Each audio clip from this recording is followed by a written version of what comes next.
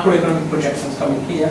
So you can see already under that chart, I decided to use it to show you how the policy, the macro, the sectoral policy, the framework in terms of budget planning, and sometimes policy making in terms of supply side policies, demand side policies. How do you create demand? How do you ensure good service providers are taking place? All that can be shown here. But also the policies here, international economic policy, exchange rate policy, macroeconomic policy, monetary policy, financial market, all that is here, right? It may appear to be complex, but that's government. That's how. So here it's a mixture of policies and process, right? We don't have too much time, but we can come to that if you want. But I think gradually, I'm, I'm, I'm, I'm trying to bring you apart how government works. And that's your analysis at the back of your mind, because you're not doing partial analysis. You're doing a macro analysis. And when you're looking at macro, so all that comes into into mind. so one set of, one paragraph about fiscal, one paragraph about um, your MTEF generates so much in terms of what is behind the scene there. So you have to be aware of that. So that is the beauty of the public financial management which I was talking about. You understand that you are really in control of how the government is operating. Your government is operating. Yes, Yes, sir. You mentioned foreign aid there. For what? Foreign aid. Yes. And then I can see it there in relation to uh, debt management policies of our government. Like these foreign aids and uh, donor agencies that come into the country, they give donations, they give aids maybe to like health and other organizations. If the government is sure of meeting up with the conditions, is it not possible that they incorporate it into Nigerian budget so that we know how much is coming in as aid? Because such monies would still be paid back by the government. It's not free. My short answer with that is it should always be like that. But in reality, you would find that there are, again, like we talk about the leakages, there are leakages. I remember when I was coming regularly to Nigeria, we used to go to the planning, we used to go to one department in particular who had put some very clear guidelines, forcing DFID, I remember, forcing my program that I need to report. So it wasn't me reporting, it was government. The recipient, meaning the DMO and other people, needed to report. The whole idea here, you need to have internally something called aid coordination department. And that's the responsibility that it should channel. It's so easy sometimes to say, well, the, government, the, the donors are not willing to collaborate. But if you put your foot down and say, well, I'm not ask, I'm not controlling you. I just want to ensure that the money is actually going through my process. Sometimes there are some expenditures which will never come to the budget. But these are for specific reasons. They are trying to improve the capacity of NGOs. They're trying to improve the capacity of civil society. You may decide to leave them alone. Why? Because they want to improve the voice of the nation. You know, it's about, sometimes there is what they call them participatory, participatory budgeting or whatever. Uh, you may already be doing that sometimes. Inclusive budgeting. Inclusive budgeting, whatever. So sometimes you leave them alone. But I would agree with you with what you're saying there has to be coordination there. So I'm not going to argue against that. But unfortunately, it doesn't happen. I think there's a committee in the House on that. Four days and What is on debt? And they also interact with the National Planning, Committee, Planning. I, I, as I said, I, I do remember going to those meetings. And I think honestly, to be very, very precise, the issue why I think the parliament and even government have not been relatively very firm on this is when you look at uh, the level of foreign aid coming in and you compare it to the budget, it's just minuscule. So Yeah. that's why That's true. and, and, and, and in most of it, when you look at it, when aid was coming through the health sector, or you were having something like eight hundred million dollars coming in through NACA and it was, you know, kind of packaged within a government agency like NACA, you understand, for this support of HIV AIDS and whatever. But when the money is just, you know, pittance, targeted at normally, you know, kind of civil society organizations and other NGOs, the understand government normally, you know, kind of hands off and allow that. Because by the time you begin to get in there now, it's like closing that space for the civil society organizations. Yeah. I think that was actually what happened. But I could recall, you know, when this, uh, what do you call this, uh, popular HIV AIDS intervention, where massive fraud was discovered that, eh? not Gavi. There was a massive fraud that was related to, you know, kind of intervention in HIV, AIDS, and other things, where certain organizations, you know, kind of were found to have falsified even, you know, beneficiaries' names, even training sensitizations. You give a training out, somebody will go and have a list of fictitious, you know, people you know, people living with AIDS or whatever, 50 pictures, you can just go to a photographer, get 50 pictures, fill a form, get hotel records, get, you know, whatever. So government decided to stay off, you understand, for transparency kind of. Because if you delve in as a government, it now becomes an issue. Because it's small, it's not even up to 0.2% uh, of your national budget. And then it has the tendency of bringing much more problems with you because it's like you are closing the space that under normal circumstances civil society organizations you know kind of should occupy so if it's government government government no civil society you know kind of participation it puts the entire process in a bad light yeah. because it's very very difficult for civil society organizations you know for them to get funding from government so the only outlet for them is the DFIDs of this world, the USAIDs, and you know, some other uh, agencies. So there, there are some objectives about it, but generally yeah, I would agree with you, but the quantum could be very low. But I think at the end of the day, if you do have those aid coordination or those processes, I don't think any donor is, is, is unwilling to provide that information. It's just sometimes that the, they, are- they have their own conflicting needs, which sometimes you need to harmonize. And they have donor harmonization apparently program which never works in Right, right, right now there is a DFID program. I think it's in, at the inception stage. I happen to uh, have a contact from within who I knew 10, 15 years back on another program when I was working with uh, the IFAD uh, project in Nigeria also. And uh, somebody, one of my staff, sat in actually when we were holding a kind of meeting. We were looking at the possibility of accessing some of these things, and the person opened up to us that they are not interested in what we want as an organization, which is capacity building, to build the capacity of you know, our staff, but they are much more interested in invading themselves into our system. You understand? If we can allow some technical assistance, one or two people to come in, stay with NABRO, churn our reports on behalf of NABRO, have access to information which we have, which is not necessarily in the public domain, you understand? So if you look at some of these objectives sometimes, they also determine, you know, that uh, willingness of government agencies to, you know, kind of be open to such interventions sometimes.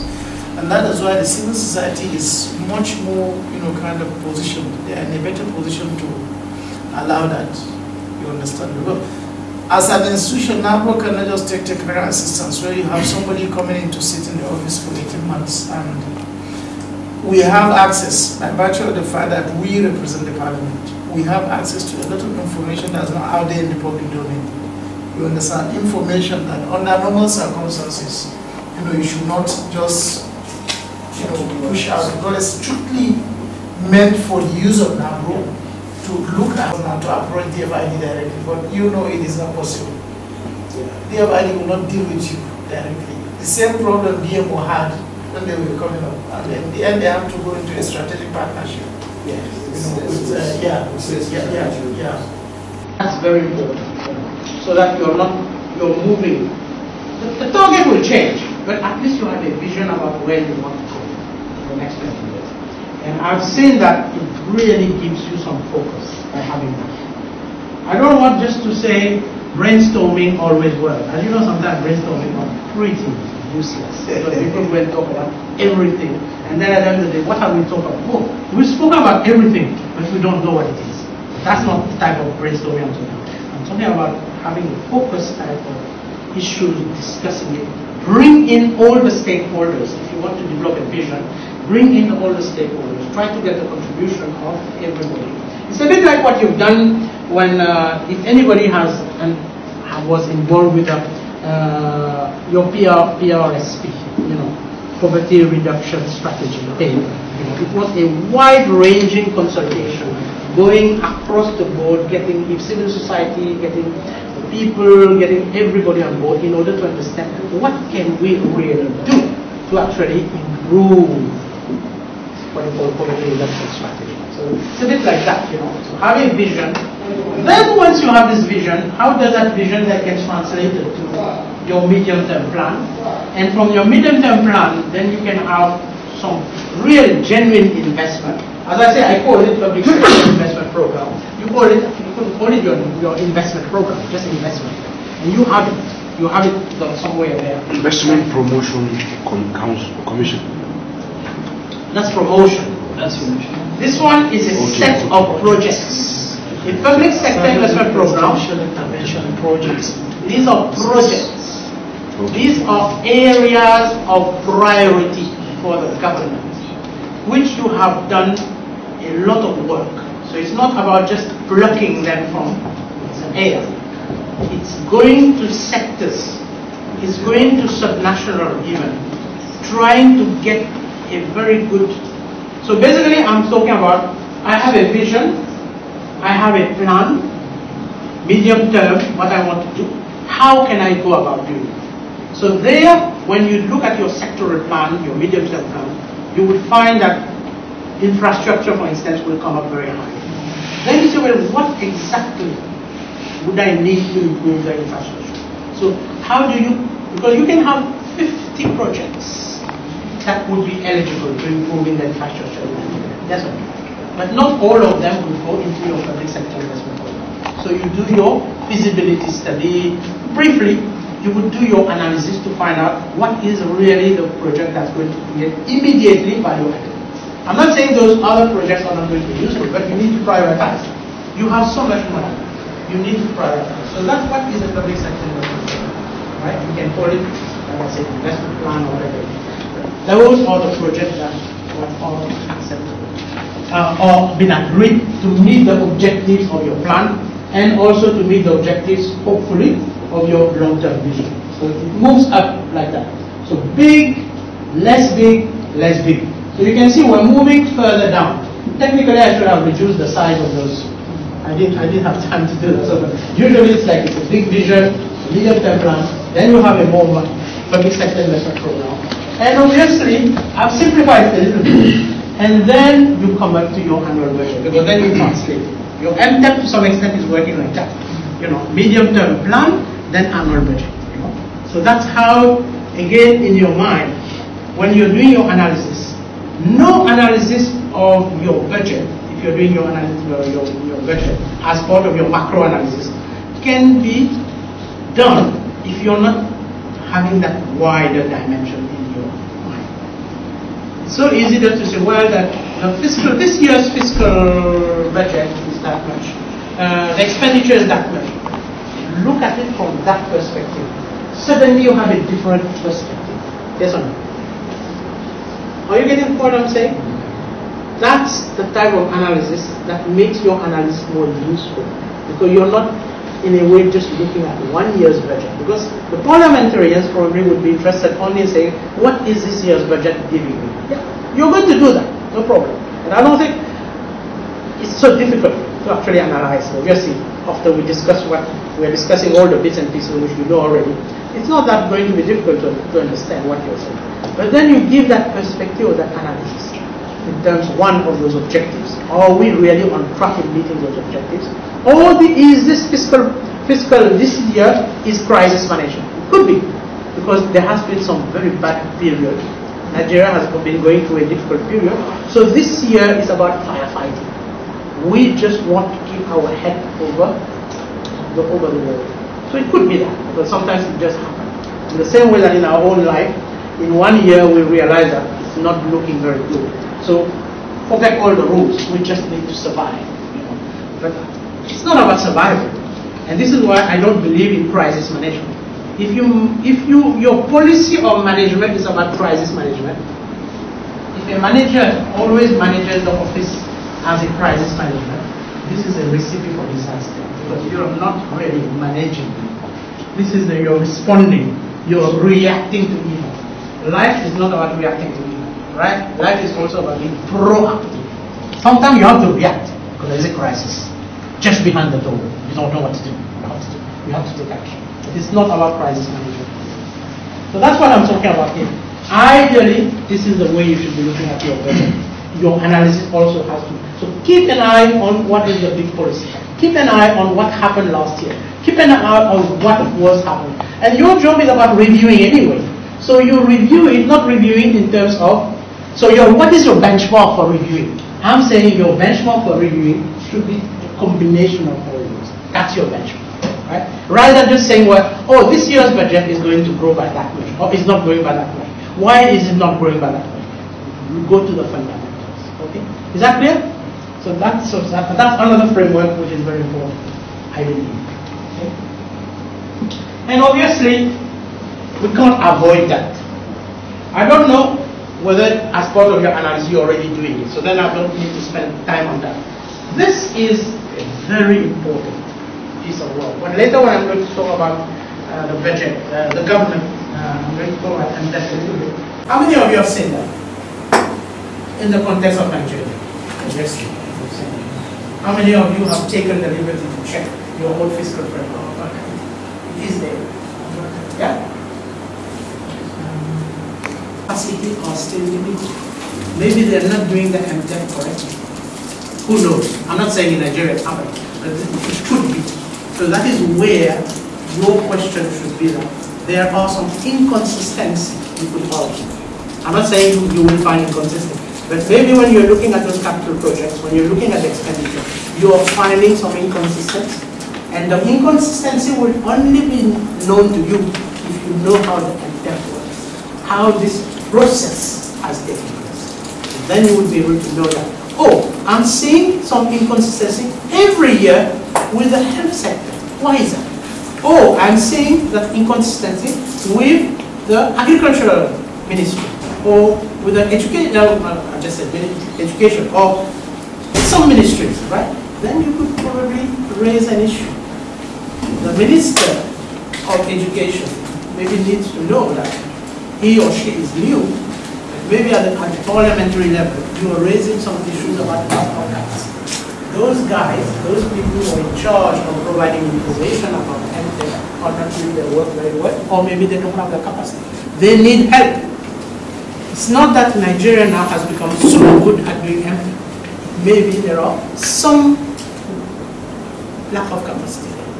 Are you getting my point? Mm -hmm. At the end of the day, you want the budget to be a, a, a very good tool for you meet your objectives.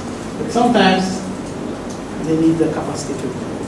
And that's the only way you will be able to do it. So you are talking, uh, you're thinking that, oh, I'm talking macro here. How come now we've gone into sectoral ministries? But the macro will not work on its own. The actors, the parties involved in macroeconomics or the stakeholders, they are the ones that need to be giving you the right information so that you are able to do your work very well. All right?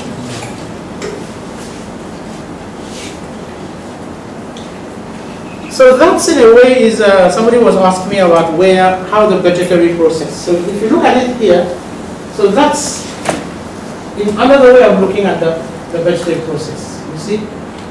You always start from here right? You have your upstream preparation planning. The budget that is coming in December, it starts long time ago. You know your own calendar.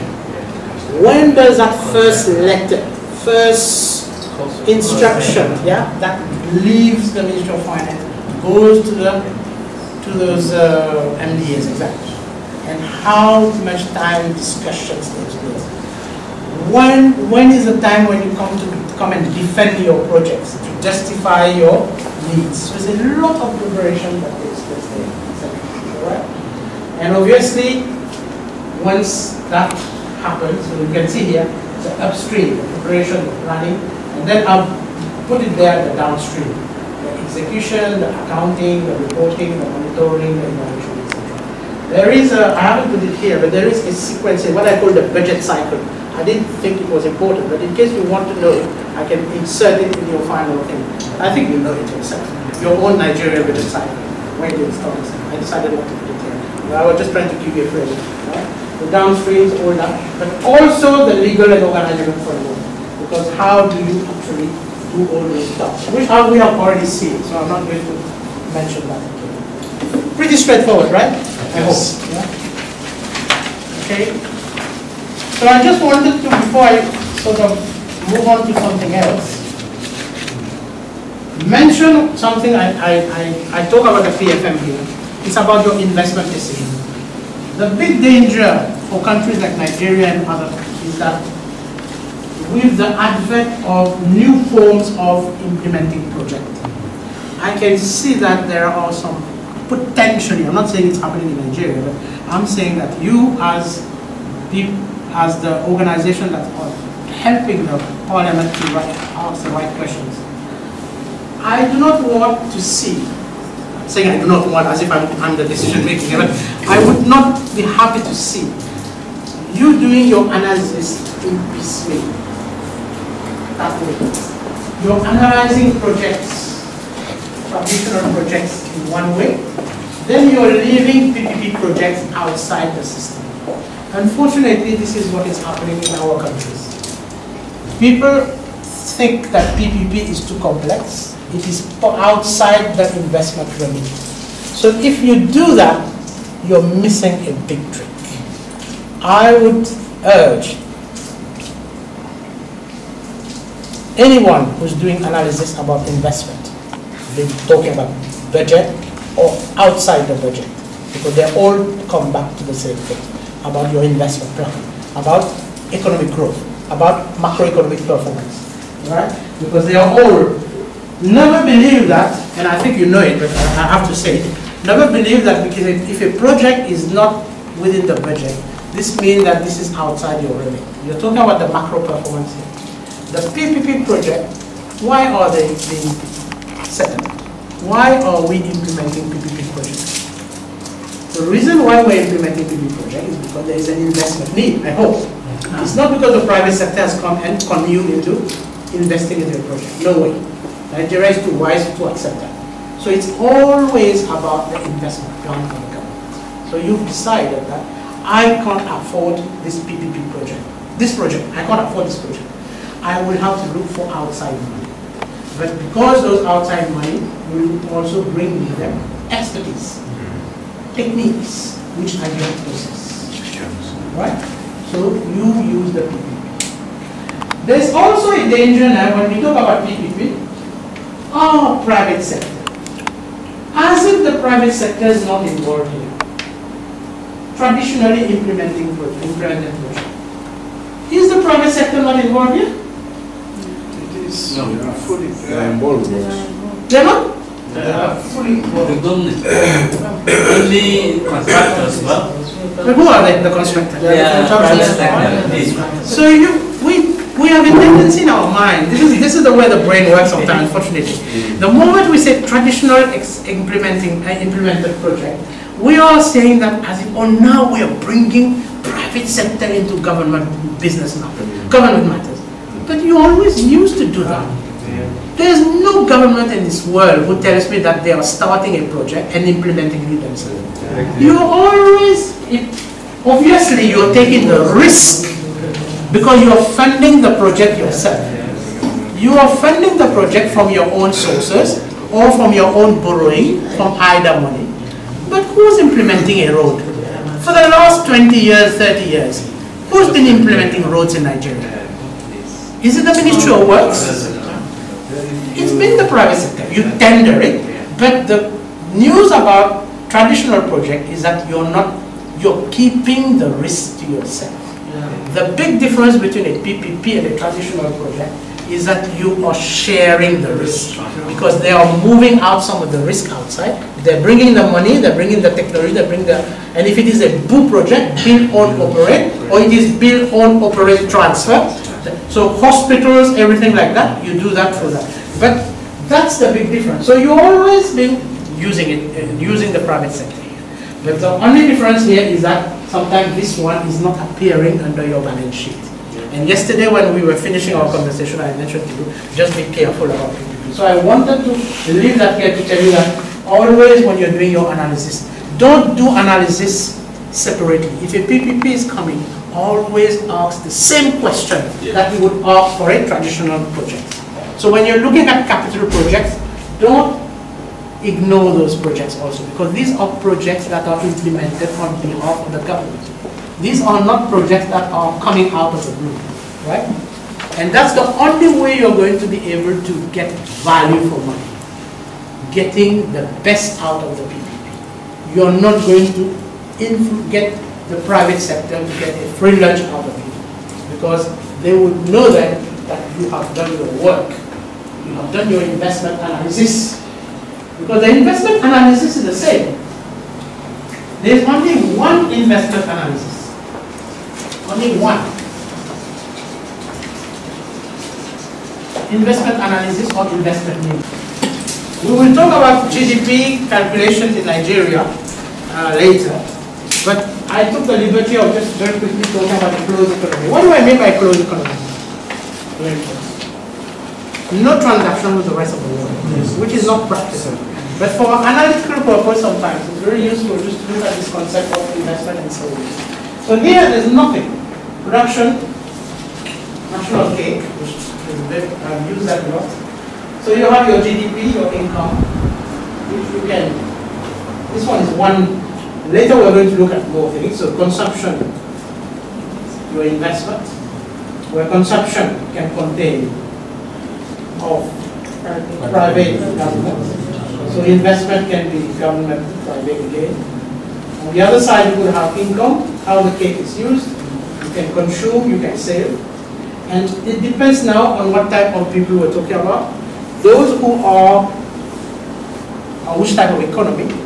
In many, if I was talking about the same thing in the 70s, in the 60s, in the 80s, you would find, for example, a lot of the income of those type of economies would have been what?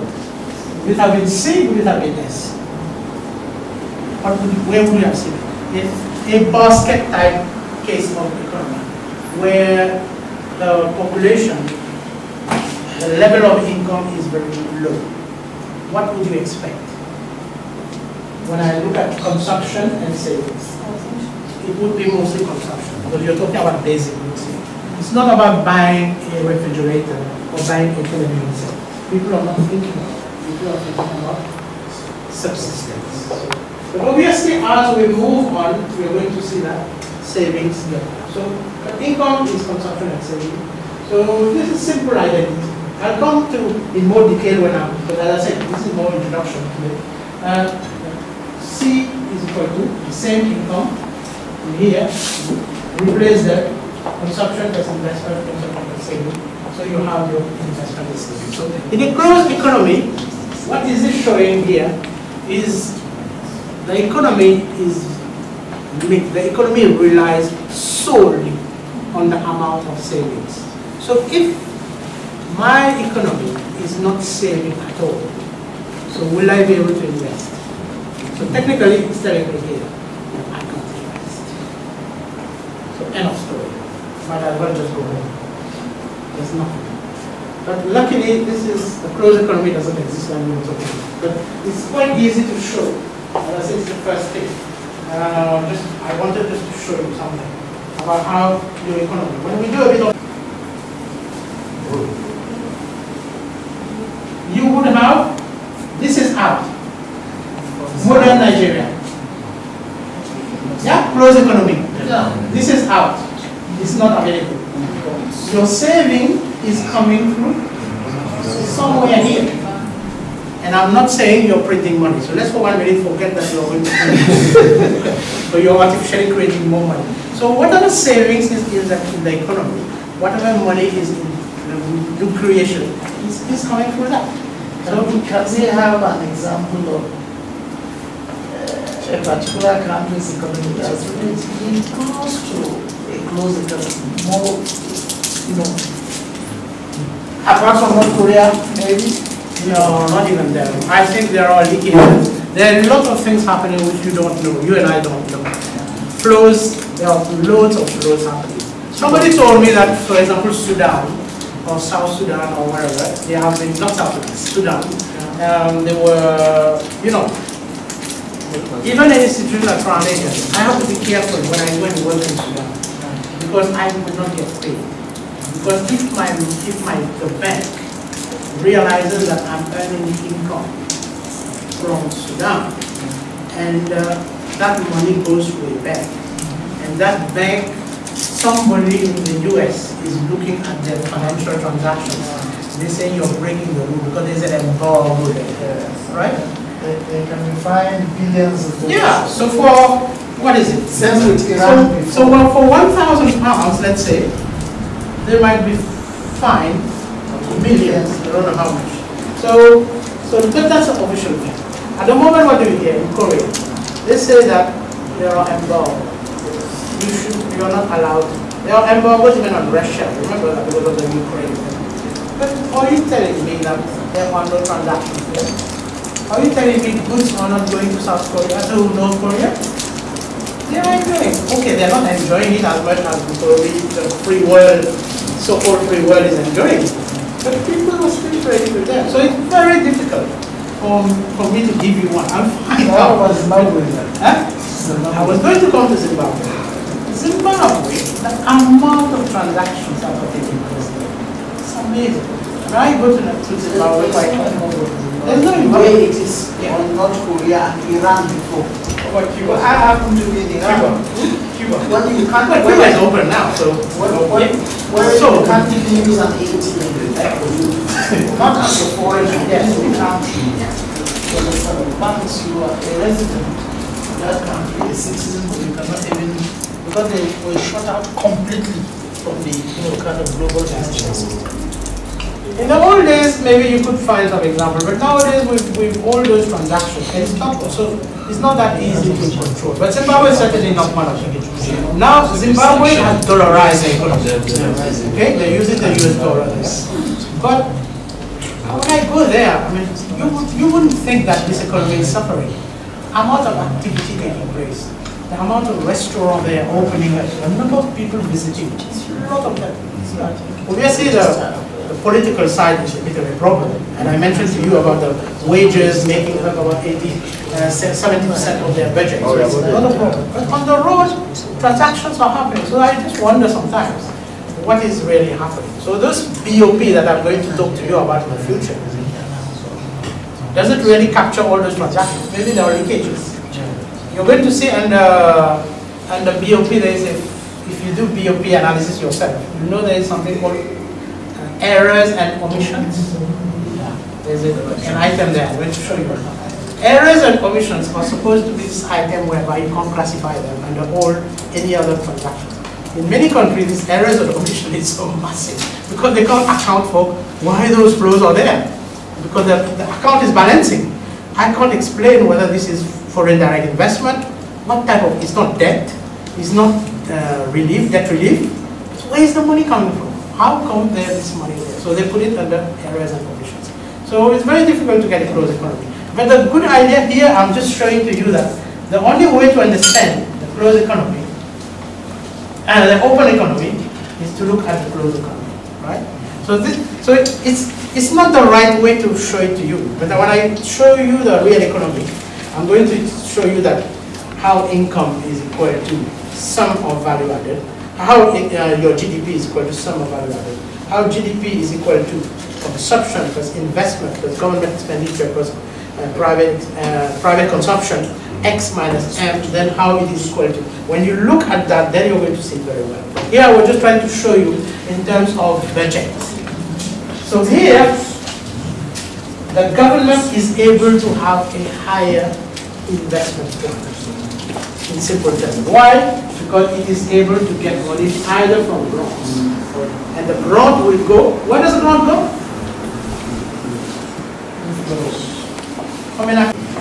Because the tax rate is so high, that they don't want to see it. Then you see the population. Mining on their own because the government did not provide any enabling environment or any readily made market where they can mine and sell.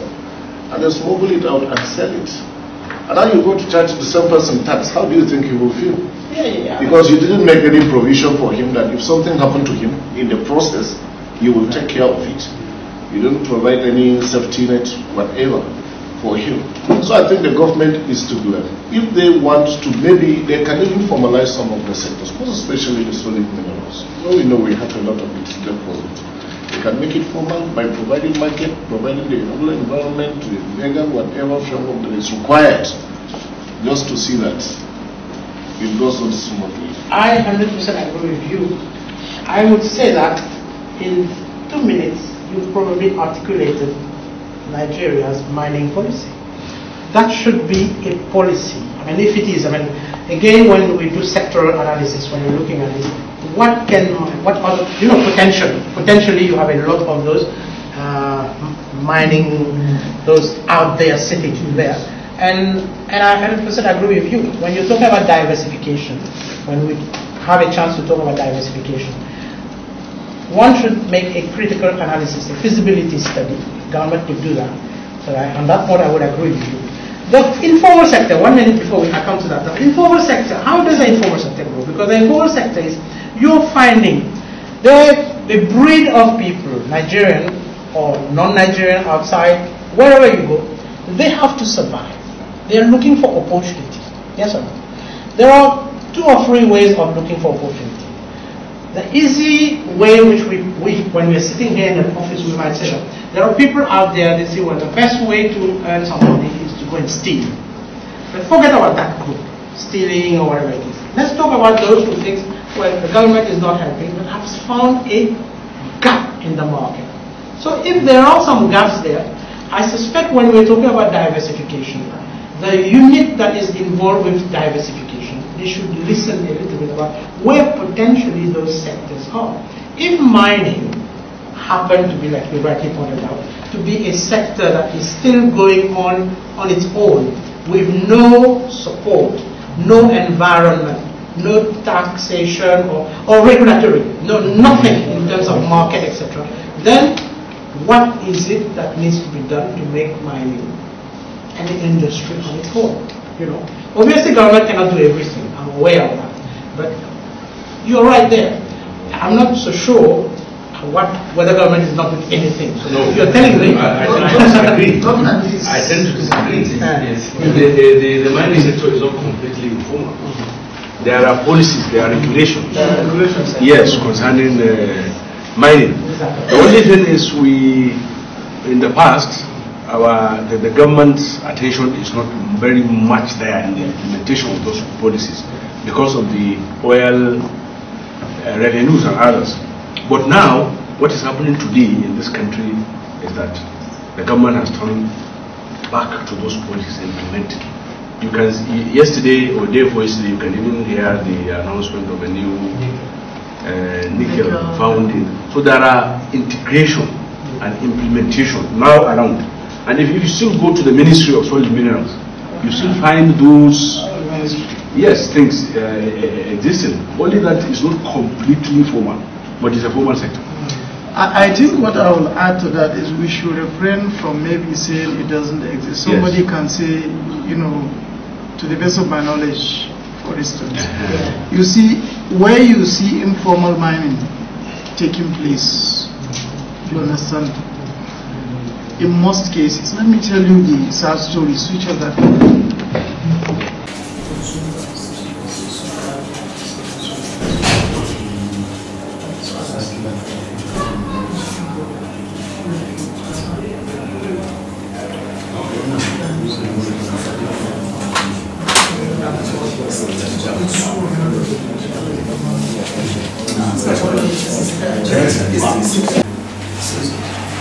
Let's continue now. Um,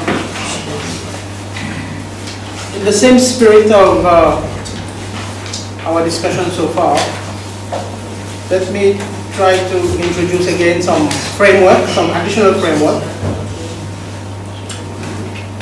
And um, before we do that, just to reiterate some of those issues that we discussed this morning. Uh, and we've uh, just mentioning that whatever else we're going to be talking about, so keep in mind those framework that we'll be looking at. Bit the, the whole concept of uh, macroeconomic objectives, the whole concept of uh, policy, which we are going to come back times and again when talking about Nigeria, but also thinking of the PFM framework and all the bits and pieces, which we will keep reiterating because like I said, um, when you're looking at the Nigerian economy, there's no, in terms of the framework itself, it's not that complicated in terms of what is there. It's more about the interpretation. So, inevitably now, we're going to look at essentially a framework that is pretty useful when we look at the system of national accounts, which I'll put there. When we look at a little bit of the government finance statistics, DFS, GFS, these are all manuals available for you to look at in case you are most interested. And then there is the so-called financial programming, which is a very good framework to look at how an economy is structured in terms of the various accounts. And all of those, when you look at the similarity, the common, common elements, or even if you, when I was mentioning to you uh, yesterday about other uh, models that you can have, the World Bank have this RIMSIM model, which I mentioned a little bit yesterday.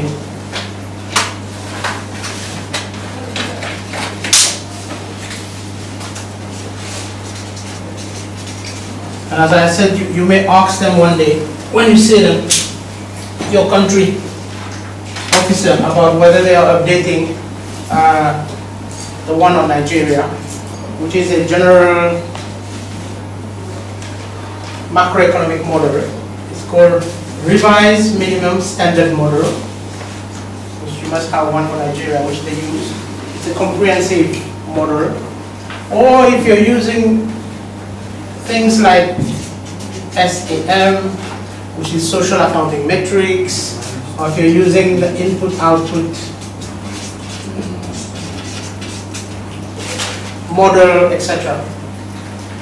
The common element along all that, like I said, we, we don't have time ourselves to go into deep, delving deep into that, but this is not a textbook type of uh, program. It's more hands-on and more practical. But inevitably, you're going to see that the, sec the sectors of the economy, they have the similar, similar. You can't avoid the fact of the two concepts that I'm going to introduce now and very quickly because it's a short presentation then we'll move on to the sectors. It's those four sectors of the economy because these are the building blocks. And then the other elements related to that are the what I call the economic agents. So two elements which you again would be very much familiar. So the more familiar you are, so the less time I have to normally have to spend on that. But inevitably these are what I call the building blocks also. It's a continuation you can't avoid that. Whichever framework you're using, when you go into the system of national accounts. So when later, my next session after that, that one, when we're going to look a little bit closer, again, because it's national income, it's the uh, disposable income, savings, the way it is actually structured in the case of generally, as per the SNA, but more specifically in terms of what Nigeria is using you, you have to go back again to those elements, okay? So that's where I'm starting, but it all depends, like I said, uh, how, how much uh, you know already about it, so I can go very, very quickly.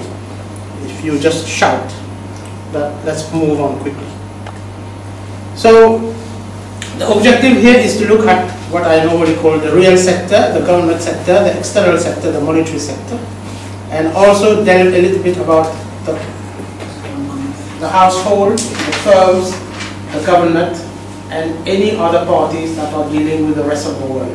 So these are what I call the economic agents. And um, so to some extent that will have to become natural.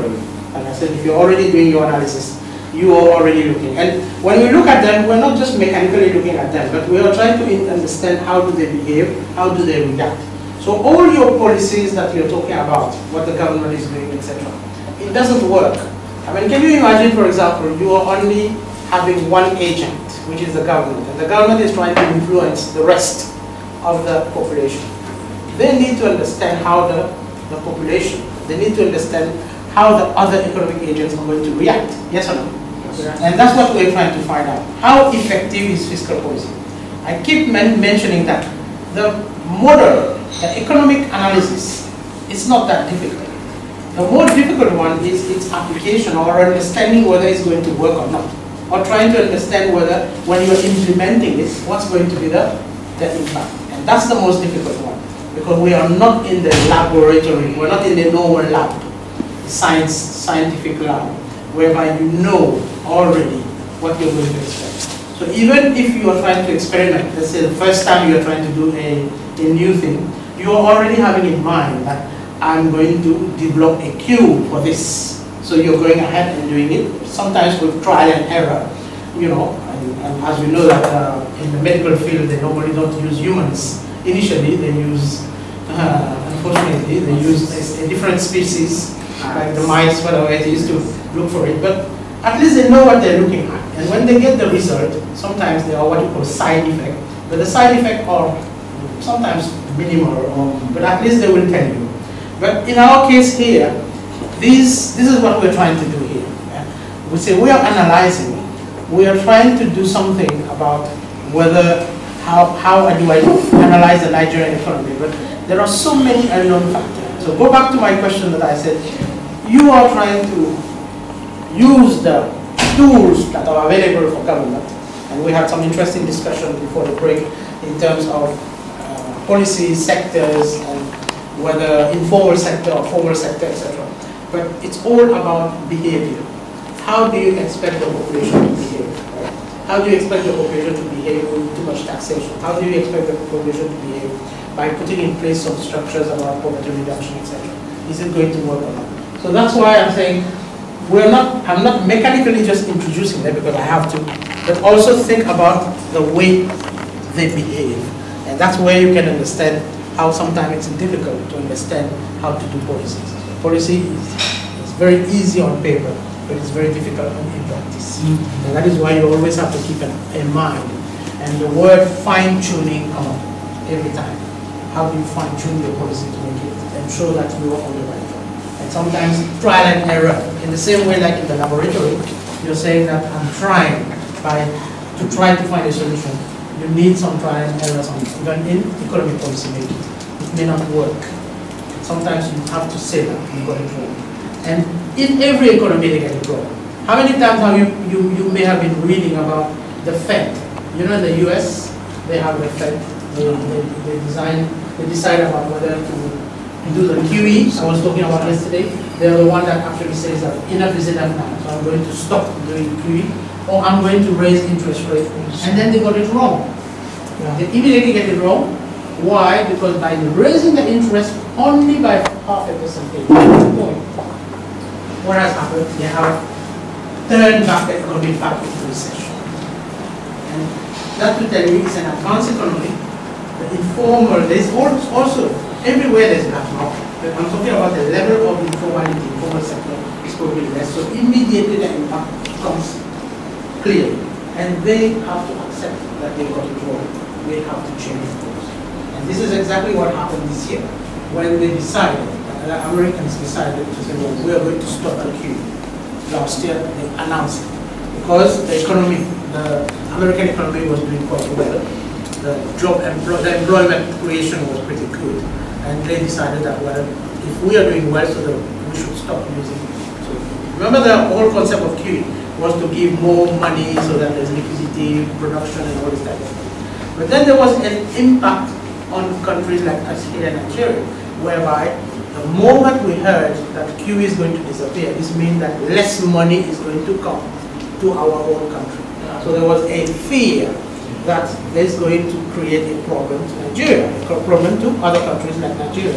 Why? What it means is that the, the less money means when you go back now to look for the cost of investment, the cost of borrowing or whatever, cost of money, you find that you will have to pay higher. So the world is always, and if you pay higher, this will impact on your own GDP growth, not in the, in the way that we're talking about. So policies are there. So it's always about keeping an open mind, but you need to be able to ask the right question. So let's go back to what I'm saying there. So those, in your case, can't help it. This is also basically what, what it's about. So I'm not being just theoretical here. You also have to look at, in Nigeria, how those sectors, how those economic agents are behaving. So you will see that every time I start, but I'm not going to spend time on that. I always say, remember your objective. The reason why I'm repeating myself is, remember, any analysis is why are you analyzing? So you must have a clear objective in terms of what you're doing. Here we're talking about macroeconomic analysis, so I'm looking at my object. I'm reminding myself of the object. I'm also reminding myself about how those big objectives then can be turned into practical. I I mentioned that already. See, you have the growth, you have the price, you have the GDP, etc. So I'm not going to talk about that again. But uh, just to remind you again on this one, some more meat into what I already mentioned, in case you want to refer to it as in your handout. You can see here, we always like to have those policies. But remember sometimes by achieving one, it may have a, an impact on the other. And this is sometimes the beauty of economics, but the dangers of economics. It's not compartmentalized. They are all interrelated. One, one decision you're taking here has an impact on somebody else. And the impact that you expect may not be the same. So this, just few illustrations here about these objectives are linked. Sometimes you will find that by achieving this objective, you're also doing something else there, which you need to be aware of. So you can see here, high inflation may not be good for growth, the latter may be affected by prices rising. Higher prices affect purchasing power of population, spend less, affect demand for goods, profitability of firms. This all makes sense to you, right? Because these are common, common, common requirements. And that's the type of analysis when you're looking at your own macroeconomy, you'll be looking at, well, what is this doing? What's the implication? So I'm just listing them to you. Again, higher prices may lead to higher interest rates through money supply, affect investment as cost of money go. So everything is very much related. And that's the macro. But on the other hand, somebody may say that, oh, you're wrong there. Because I could expect that if interest rates go up, that may be good for me. Somebody might say, my interest is go up, that may be good for me. Means me, as an economic agent, I am also a household. What would you like? To earn more interest on your savings? Yes or no? Yes. So you could see the perverse nature of economic analysis and economic policy. On one side, you are criticizing it. On the other side, you say, oh no, it's good. So then you have to decide what is the impact in net terms. When I raise interest rate, what is it going to do? It's very good for the household, but it's not good for the firm. Why? The firm is, is, is going to be penalized. Higher interest rate means the cost of borrowing and the cost of investment go up. When they go to the bank, when they try to find more money, they say, okay, sorry, this is the cost. So when they're designing a new project, you know, when you do your project appraisal, when you're doing your feasibility study about a new project, you have to put in a higher cost. So when you're doing your net present value, what is my return on that investment? You know, you understand the present value, right? So when you're looking at how much costs, so investment, then when one year I don't produce anything, but second year now I start producing. So over the time, you will find that you need a higher profit in order to to make, to become sustainable, to become, to, to break even. That, that's the whole idea. So, so that's, that's again, I keep coming to those areas because that's the whole idea about the economic analysis. There's no magic solution. As I said, it would be easy if we were doing something scientific. I just give you a list and say, well, if you're doing your analysis, just follow that. No. Here, you have to use your judgment about what is the impact. So sometimes two impact are working together. Then you will have to decide, where should I stop?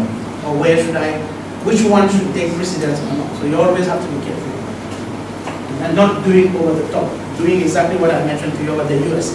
They just moved the interest a little bit and then suddenly there was recession. And the last thing that Americans wanted, is the threat of some form of recession coming, uh, coming up fast in the economy. And assuming exchange rate is fixed, real exchange rate will appreciate. So that's the other side of exchange rate. So you can see in one in one slide here I've sort of summarized those issues that we can keep discussing when we talk about the Nigerian economy. Right? So that's that's I thought I would mention that. Before we go, and I, I think yesterday I mentioned that, but um, for the first time I'm putting it there. We will come back quite a few times about that. But policymakers have different policy options. So you know